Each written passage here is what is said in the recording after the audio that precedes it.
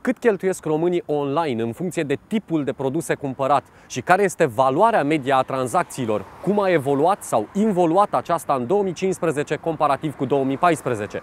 Să vedem! Valoarea medie a tranzacțiilor pe cardul, eh, cardurile Visa, eh, dacă e să o luăm pe domestic, este 40 de euro, iar pe internațional 58 de euro. În ușoară creștere față de anul trecut, nimic major. La ceasuri, de exemplu, 330 uh, de lei și a rămas constant. La fashion, tocmai am spus, circa 180.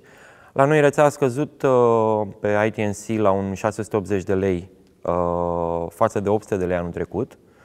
Um, în schimb, ce am remarcat chiar de curând este că la nivelul întregii rețele, deși valoarea medie în general este 160 și ceva de lei, care e relativ constantă de vreo 2 ani, um, Anul trecut, în noiembrie, valoarea medie a fost de 212 lei și anul ăsta am simțit deja o creștere, deci în primele pe, pe 10 zile din noiembrie, valoarea e deja 180 și ceva de lei, 183 de lei. Uh, deci se, se simte o tendință de creștere a valorii medii pe perioada reducerilor. Pentru că vorbim de reduceri, România este poate printre puținele țări în care au loc foarte multe evenimente de tip Black Friday. Fie că se numesc tradițional Black Friday, fie Black Week, Black Month, săptămâna reducerilor, Stockbusters, revoluția prețurilor și așa mai departe. Ba mai mult decât atât, în fiecare an avem cel puțin două Black Friday-uri. Unul tocmai a trecut pe data de 20 noiembrie, celălalt urmează peste câteva zile pe data de 27. Este oare un lucru bun pentru industrie această multitudine de Black Fridays o afectează într-un fel sau altul pe termen mediu și lung? Să vedem. Pentru industrie clar nu este, nu este ok și nu este bine nici pentru client la final. Deși el câștigă pe o perioadă scurtă, pe perioadă lungă nu câștigă. De ce? Pentru că dacă un business nu face un anumit profit sau un, pentru a investi mai departe, nu se poate dezvolta. Ceea ce înseamnă că nu poate oferi clientului lucruri uh, inovative. Ce pot spune este că, în opinia mea, sunt două evenimente tip Black Friday, să le zicem. Uh, un eveniment uh, uh, de tip promoție, care se întâmplă săptămânal, lunar și clientul s-a obișnuit cu el, a ajuns să cumpere la promoție, iar evenimentul de bază, Black Friday-ul, nu neapărat adevărat, ci cel consacrat, va rămâne în uh, sfârșitul lui noiembrie și cu siguranță că uh, sunt, cel puțin noi avem foarte multe feedback-uri uh, de la foarte mulți clienți ai noștri care așteaptă acel eveniment, nu alt pseudo Black Friday.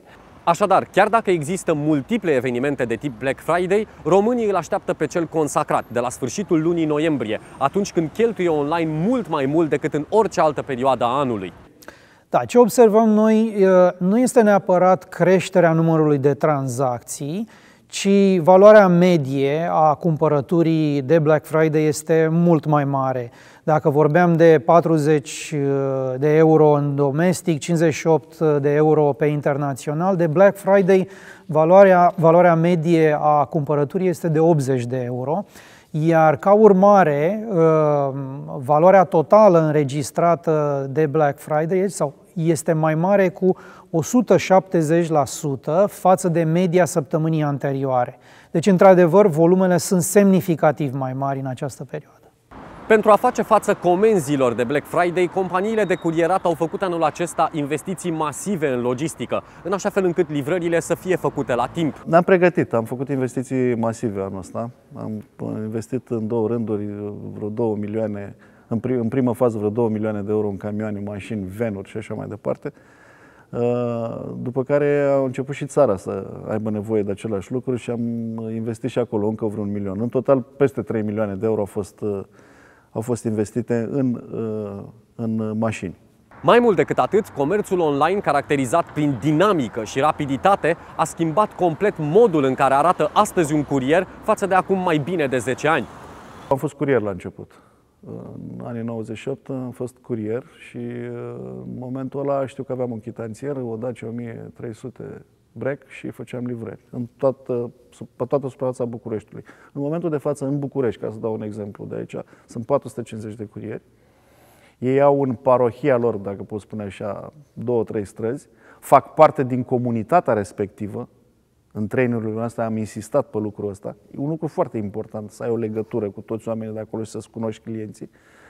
Hai să ne uităm cu ce sunt dotați curierii. Au un terminal în momentul de față, au un uh, printer mobil, au un telefon, un smart uh, așa, au o mulțime de alte lucruri. Dacă te uiți la ei uh, și uh, ne gândim să le mai adăugăm niște device-uri pe mâini și o să-i facem niște negări care când pleca la război începea să-și pună cuțite, grenade și așa mai departe și mitraliere în spate. Cam așa arată un curier. Ar trebui ca munca, și clar munca lui e mult mai simplă în momentul de față, e plin de software, toate device-urile astea au în, în ele și mult software care trebuie să-l ajute. Sunt foarte multe proceduri, sunt enorm de multe proceduri, fiecare client vrea să fie diferențiat de ceilalți, să facă diferența în piață și atunci noi fiind ultima verigă, adică care, cei care ducem produsul la, la ușa clientului, să venim cu un alt lucru pentru acea, pentru acea companie.